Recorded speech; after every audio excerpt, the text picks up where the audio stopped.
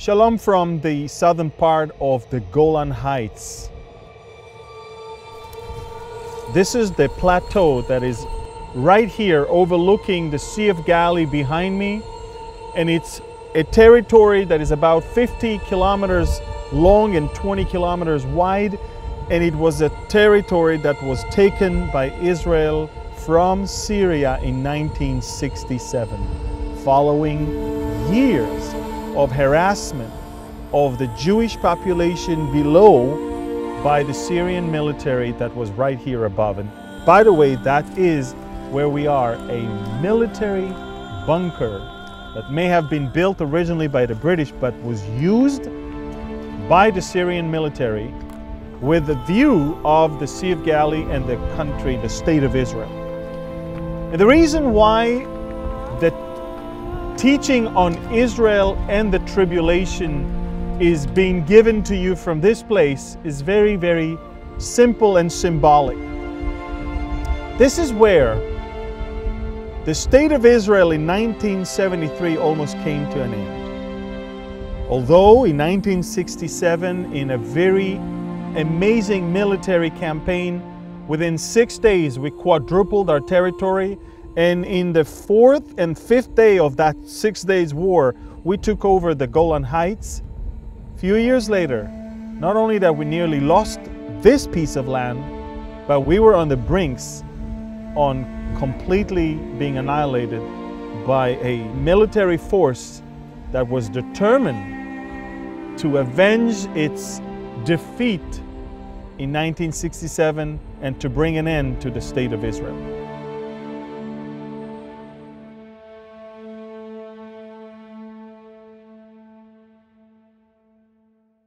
So this is why we're here, because we're going to talk about a chapter in the future that will almost bring Israel to a complete annihilation. But this time, unlike other times before, God is in not only full control, but also somehow ordains the fact that there will be world changes and great catastrophes that will follow that. We know that it involves not only the people of Israel, the Jews, but it involves the land of Israel, the country, the capital, Jerusalem. We know that because the Bible gives us not only a clear description of what is going to happen, but where it's going to happen as well. I would like to start the teaching on Israel and the tribulation with a clear warning that the Lord gave through Moses in Deuteronomy chapter 30. He said, I call heaven and earth as witnesses today against you that I have set before you life and death, blessing and cursing.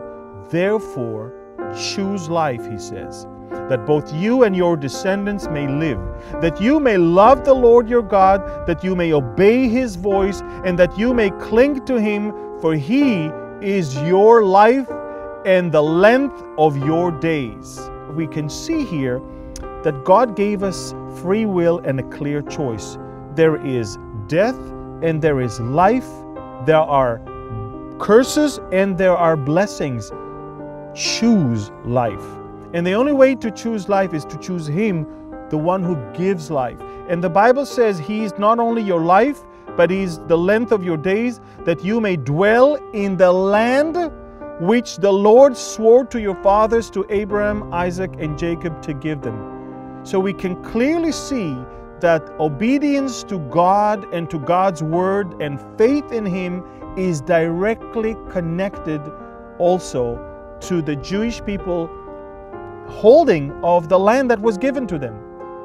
And we know that when they left God, they literally were allowed also to be kicked out of their land. We know that, and we know that the prophet Daniel, who was already in the diaspora, wrote of something much greater that is about to come upon the nation of Israel.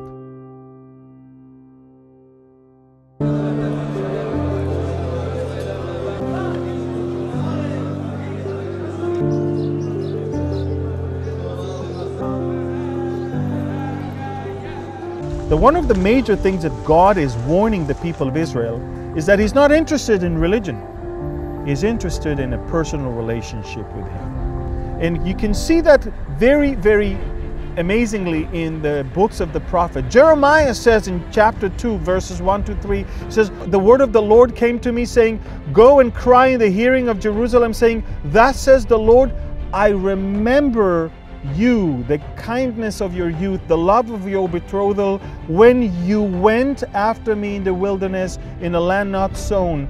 Israel was holiness to the Lord, the first fruits of his increase. All that devour him will offend. Disaster will come upon them, says the Lord. There was such an amazing close relationship between God and Israel. Before they entered the land, before they got too spoiled, before they started religion, there was a great relationship. And God said, Look, I remember those days. And everybody around knew that you are my people. And they were all were afraid. And anyone that was coming against you, he actually was devoured.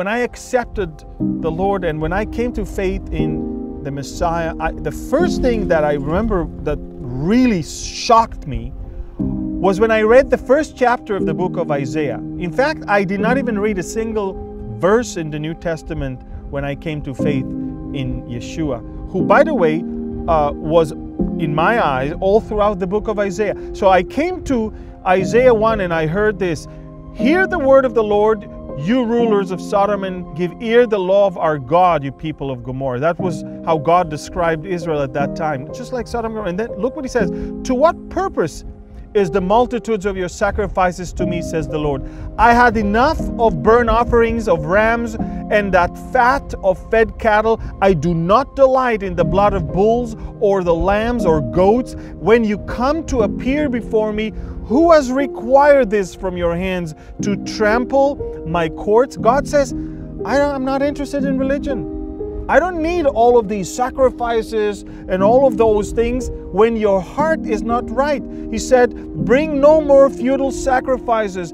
Incense is an abomination to me. The new moons, the Sabbaths, and the calling of the assemblies, I cannot endure iniquity and the sacred meetings. You, and look what he said. He said, Your new moons and your appointed feasts, my soul hates.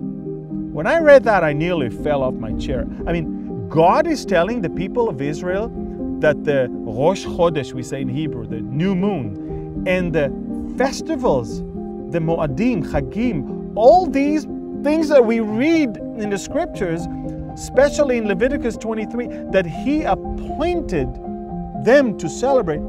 He hates those things? It is true. He hates when we only act on automatic pilot and we do stuff, we do religion. He hates it. He says, I, I, am not interested in all of this, he said. How can you do that when you have your hands not clean? I cannot endure iniquity and the sacred meetings, he said. He says, They are a trouble to me. I am weary of bearing them. When you spread out your hands, I will hide my eyes from you. Even though you make many prayers, I will not hear. Your hands are full of blood. Look, you don't have to have real blood on your hands to have your hands full of blood. All you need to do is to support things that brings an end of innocent life such as the one in the womb. And you can clearly see, he continues and says, Wash yourselves, make yourselves clean. Put away the evil of your doings from before my eyes. Cease to do evil. Learn to do good. Seek justice. Rebuke the oppressor. Defend the fatherless. Plead for the widow. Come now and let us reason together, he says. If you are willing and obedient, you shall eat the good of the land. Look, he goes back to the land. The spiritual state of Israel will always reflect what is going on between them and the land. And he says, You will eat the good of the land, but if you refuse and rebel, you shall be devoured by the sword, he said. for the mouth of the Lord has spoken.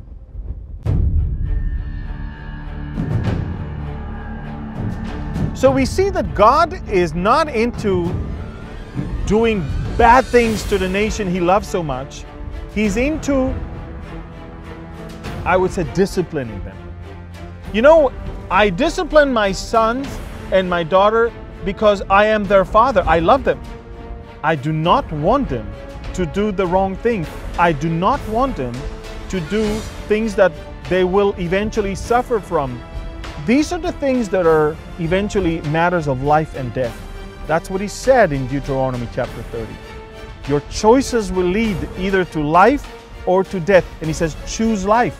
And we already know who is the life, who is the way, and who is the truth. The Messiah, Yeshua. So by rejecting him, you're already somehow not choosing life. And it's interesting because that is exactly what brings us into the situation of Israel being the focus of the tribulation. What is the tribulation? There's a lot of tribulations. Jesus, in fact, told even his own disciples, In this world you'll have tribulations, but be of good cheer, for I have overcome this world. You know, life here in this evil world with so many evil people, with so much evil that is being conducted almost on daily basis. Life is not easy. We know that. We've seen it. There, you know, it's not a garden of roses. There are difficulties. There's a lot of wars and famines and pestilences, pandemics. There's a lot of suffering in this world. People hate one another. In fact, the, the biggest enemy of, of humans are humans. The Bible says in Proverbs chapter 3, verses 11 to 12, My son, do not despise the chastening of the Lord, nor detest his correction.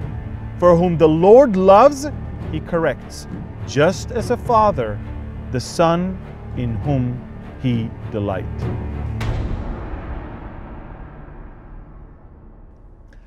Isaiah chapter 65 says in verses 1 to 3 I was sought by those who did not ask for me. I was found by those who did not seek me.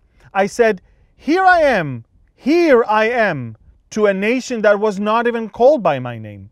I have stretched out my hands all day long to a rebellious people who walk in a way that is not good according to their own thoughts a people who provoke me to anger continually to my face, he said. One of my dearest pastors taught me, Amir, happiness and joy can be translated eh, in, in so many different ways, but suffering only by one. Suffering is the only language that everyone understands. And unfortunately, and that's the one thing that really brings us always back to track. In Israel, we have a term, lachzor b'tshuva, to come back with an answer. It's very interesting, but tshuva is not just an answer, it's to return. Lashuv. It's amazing. Come back and return to me, he says, and then I will return to you. I am here. God is near all those who, who worship him in spirit and in truth.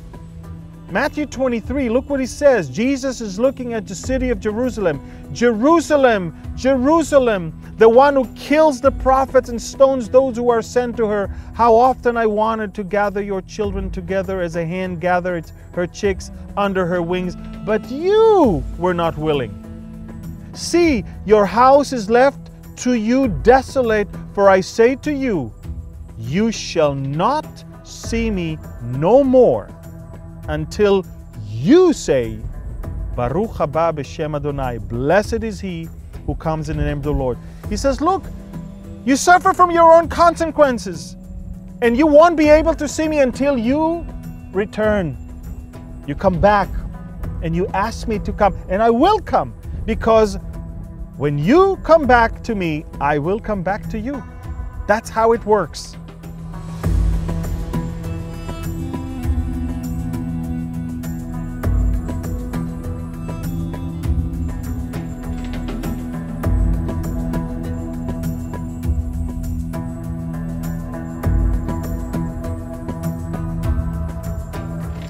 So, before the seven years tribulation begins, which is when we are right now, we are before it, we haven't started it yet, we can clearly see that the Lord, through the prophets, promised a physical restoration to the nation of Israel. Physical means that they will be physically taken from wherever they are.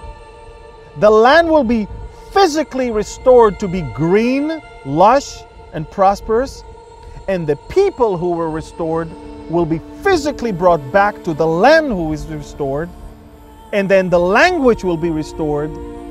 And physically, the fig tree that is a symbol of Israel's national privileges will come back to life. And Israel is back in the land 73 years ago. Israel is back in the land. Israel is now considered one of the eight most powerful nations in the world. Israel is the third country in the world that landed a vehicle on the moon. Israel is the leading country in the world in so many areas. A nation that was almost annihilated just about 40 years ago when the Syrian army, right here in this bunker and all over this area, nearly brought an end to our existence here. And we're still here because there was a promise for a physical restoration. And God is a God that fulfills His promises. And here we are, restored physically first, back to the land of Israel. Ezekiel 36 says, And you, O mountains of Israel, you shall shoot forth your branches and yield your fruit for my people Israel, for they are about to come. A land that was dead a land that Mark Twain in the 1860s said that even the cactus, who is a great friend of the desert, did not grow here. A land that was a barren wasteland, according to the words of Mark Twain. And by the way, Mark Twain may have said these horrible words about this land, and he praised the beauty of Damascus when he was there. Who would imagine that in 2021, it's Damascus that is in almost ruins, and this place is such a flourishing country. But watch this the land had to be first restored, so the people will be then restored back to the land. He said, You mountains of Israel, shoot forth your branches, yield your fruit for my people Israel, for they are about to come. For indeed, I am for you, and I will turn to you, and you shall be tilled and sown. I will multiply men upon you Look, we, we have airplanes full of Jews coming from the four corners of the world up until today. Coming from everywhere, from India and from uh, Ethiopia, from America, from the UK, from the Ukraine, and from uh, former from Russia and from uh, uh, so many other places, all over. Jews return back home physically, and the cities shall be inhabited and the ruins rebuilt. Come to Israel, it's all flourishing now. I will multiply upon you man and beast, and they shall increase and bear young, and I will make you inhabited as in former times, and do better for you than your beginnings. Thus says the Lord God, I do not do this for your sake, O house of Israel, but for my holy name's sake, which you have profaned among the nations wherever you went. And I will sanctify my great name, which has been profaned among the nations, which you have profaned in their midst. God says, Look, I'm bringing you back not because you're so perfect, but it's because I love you and I promised your fathers that I will bring you back. Israel is enjoying an amazing promise and an amazing God who keeps his promises. And thankfully, we see that the physical restoration came first. Because here we are. And the Bible says that there is going to come a point where Israel not only will be restored to the land, but Israel will be safe, secured, and prosperous. This is it. Folks, this has been the past year, 2020, the lowest number of casualties in the military or among civilians from terrorism or war since the day we were born in 1948. We never had it that good. We were never so prosperous as a nation as we are today.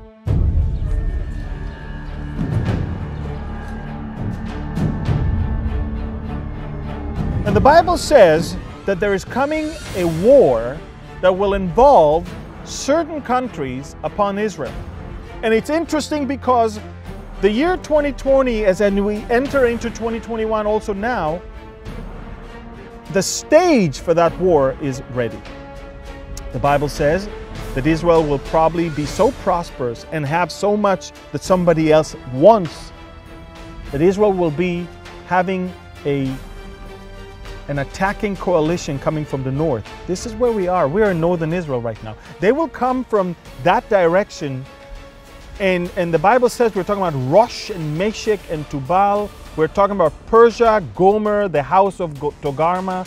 And Put and Cush will also join them.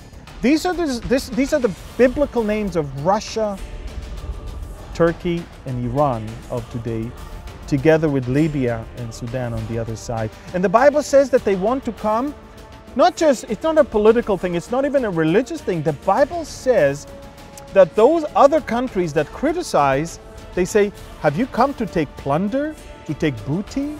In other words, you come to, to have financial gain, you come to steal something. It's not about Palestinian state or it's not about necessarily Islam or not Islam. Israel will be at the point where others will invade in order to take something from it. And it's not the land. Now, pay attention to this, folks. It's going to be a great war. The war will be felt all across the world. That war is going to be against the existence of Israel as a, a strong, safe, and secure and prosperous country, of course. But I need you to understand, folks, I need you to understand. Daniel says, 70 weeks are determined for your people and for your holy city to finish the transgression, to make an end of sins, to make reconciliation for iniquity, and to bring everlasting righteousness, to seal up vision and prophecy, and to anoint the Most High. In other words, Daniel says, Look, from the moment the decree to go and rebuild Jerusalem is given, I want you to start counting. I'm going to give you exact number of days and weeks and months and years until Messiah goes into Jerusalem and he will be killed, not for anything that he did. And then he said, after that, there's another week, separated, different. Then that week is also about Israel. And it's also about Jerusalem. And it's also about eventually the return of the Messiah. But that week will start a very bad period for the nation of Israel. Those at least that rejected the Messiah. Look what he says. Jeremiah chapter 30 says, Alas, for that day is great, so that none is like it, and it is the time of Jacob's trouble, but he shall be saved out of it. For it shall come to pass in that day, says the Lord of hosts, that I will break his yoke from your neck and will burst your bonds Foreigners shall no more enslave them, but they shall serve the Lord their God and David their king, whom I will raise up for them. Think about it for a second. Israel will go through a horrible situation. It's called Jacob's trouble. It's a trouble for Israel. Yes, the whole world will suffer, but Israel eventually will be saved out of it. That's what he says. He's not the only one that says that. Daniel chapter 12, verse 1 At the time Michael shall stand up, the great prince who stands watch over the sons of your people. He says there's a, an angel that is appointed for the sons of Israel, for, for the nation of Israel. And there shall be a time of trouble. Again, the same word tribulation, trouble, Jacob's trouble, such as never was since there was a nation, even to that time. Make no mistake, Daniel, Daniel is a boy that was taken out of Jerusalem when Jerusalem was destroyed by the uh, Assyrians and Babylonians, if you remember. Babylon was there and the, the, the city was just leveled to the ground. Daniel saw a horrible chapter in the history of Israel, and yet he says it's nothing compares to what the future is going to bring. But then he says, at that time your people shall be delivered, everyone who is found written in the book. What does it mean? It means that if throughout the tribulation they will repent and their names will be written in the Lamb's book of life. They, of course, are going to be delivered. And it's interesting because it's the same Daniel who in chapter 9 says, Remember that last week? Remember that world leader that is going to emerge and, and, and confirm a covenant? Remember that only halfway through that week he's going to break it. Remember the Apostle Paul who wrote to the Thessalonians in his second epistle when he described the end time, when he described the timing of the rapture of the church. He said, Don't you remember that I told you there's going to be a world leader? And that world leader will, will enter into the temple of God and declare himself as God. And that means that Israel is about to enjoy a fake messianic era that will enable them to build a temple, resume sacrifices, you know, think that, hey, there is peace, there is prosperity, messianic times. And of course, that word leader that will confirm that covenant will be hailed as Messiah, just to find out three and a half years later, not only that he was a fake Messiah, the Antichrist, but he's actually the greatest enemy of Israel.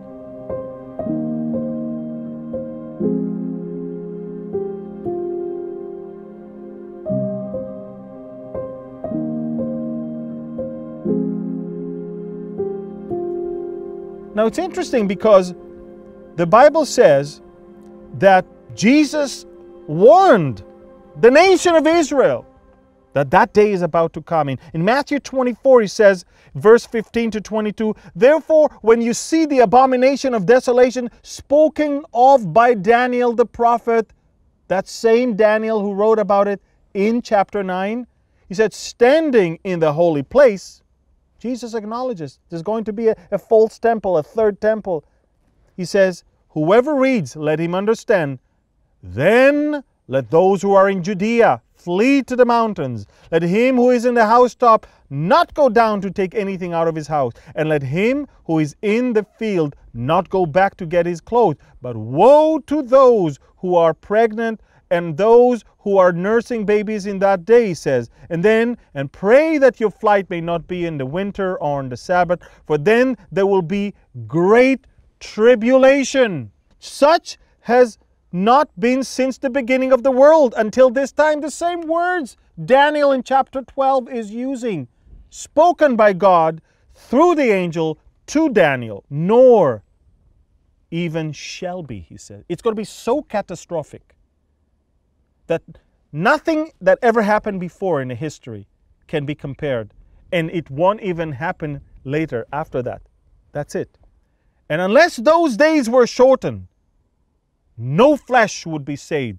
But for the elect's sake, for the sake of those who are going to put their trust from among Israel, that are going to put their trust, also, by the way, from amongst the rest, all those that will be responding for their sake, those days will be shortened.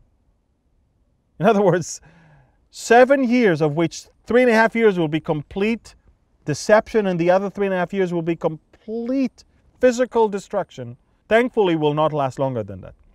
Now, when the church is raptured, is taken, and now the focus is shifting back to Israel, in order for them, of course, to be disciplined and get back to the Lord, we see something very interesting that is happening and is mentioned for the first time in the book of Revelation, chapter 7. But in its original historical narrative order, it is also in chapter 14. And it says that there's going to be 144,000 Jewish people sealed to the Lord. What does it mean? It means that God once again will, will show the nations of the world who He is by using the nation of Israel. And I heard the number of those who were sealed 144,000 of all the tribes of the children of Israel were sealed. They had a seal on their forehead. They were of the nation of Israel. You see, Israel, even throughout the tribulation, has a purpose to be a light to the nations. But of course, there is free will. Make no mistake. Why is he saying there's only 144,000 because those were sealed. But the rest will have to make their choice. The rest will have to eventually either follow or not. Follow the Antichrist or follow Jesus Christ. But it, they will have to make up their mind whether they belong and fall into the hands of the system, the leadership of those two beasts, the false prophets and the Antichrist, or suffer great, terrible persecution because of their faith in Christ. Israel throughout the tribulation. We hear terrible things that are going to come upon that nation, but we can see also a glimpse of light of how God will still use them not just for themselves, but also for the whole world. Zechariah chapter 13 gives us a sobering reality. The Bible says, It shall come to pass in all the land, says the Lord, that two thirds in it shall be cut off and die, but one third shall be left in it. And that one third will be brought through the fire and be tested. In other words, only those that will choose life will eventually have life, and we know what life is. And now we are coming to the point where those whose name is written in the book are now being saved, and there is now a spiritual restoration. God wanted a relationship with Israel. Israel decided a religion, not a relationship. God told them, I miss the days when we had relationship. And now after those seven terrible years, after this horrific, horrific satanic persecution, they will see the hand of God. They will see the Messiah. They will understand. They will look at Him whom they pierced, and they will come back to Him just as He asked them to for a personal relationship from a religion to relationship. Ezekiel said that after the physical restoration, then I will sprinkle clean water on you, and you shall be clean. I will cleanse you from all your filthiness and from all your idols, and I will give you a new heart and put a new spirit within you. And I will take the heart of stone out of your flesh and give you a heart of flesh. And I will put my spirit within you and cause you to walk in my statutes, and you will keep my judgments and do them. And then you shall dwell in the land. Once again, the connection with the land you shall dwell in the land that I gave to your fathers, and you shall be my people, and I will be your God.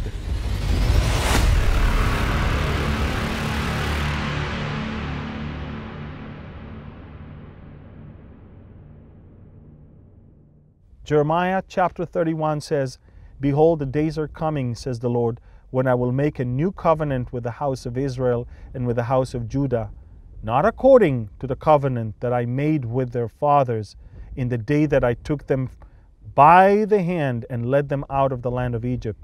My covenant which they broke, though I was a husband to them, says the Lord. The Lord says, I was a husband to, to Israel. I was she, Israel was a nation like my wife. I brought them out of Egypt by hand. I took them. But that covenant, that Mosaic covenant, was not enough, was not good enough. It was not the last one. It was a temporary one to show them their sinful nature. But this is the covenant that I will make with the house of Israel after those days, says the Lord. I will put my law in their minds, and I will write it on their hearts, and I will be their God, and they shall be my people. No more shall every man teach his neighbor and every man his brother, saying, Know the Lord, for they all shall know me. All of Israel will be saved at the very end, and all of them will know him, from the least of them to the greatest of them, says the Lord. For I will forgive their iniquity, and their sin I will remember no more. Thus says the Lord, who gives the sun for a light by day, and the ordinances of the moon and the stars for a light by night, who disturbs the sea and its waves roar, the Lord of hosts is his name. If those ordinances depart from before me, says the Lord, then the seed of Israel shall also cease from being a nation from before me. Basically, what God says, as long as the sun is here and the moon and the stars are there, Israel is a nation before me. I will never leave them nor forsake them. And I want to conclude with that amazing verse of the prophet Malachi, Malachi. For I am the Lord, I do not change. Therefore, you are not consumed, O sons of Jacob. As long as God is the same, His plans are the same, His heart is the same, His love is the same, and He is not changed. Some people say that God forgot about Israel. Some people say that the church has replaced Israel. If you say that, that means you say that God changed. You say that God is no longer the same God because God says, I am the Lord, I do not change. And He says, Therefore, you are not consumed, O sons of Jacob. You're not done. You have hope and a future because I'm the Lord God of Israel. I love you. Just come back to me, return to me, and I will return to you.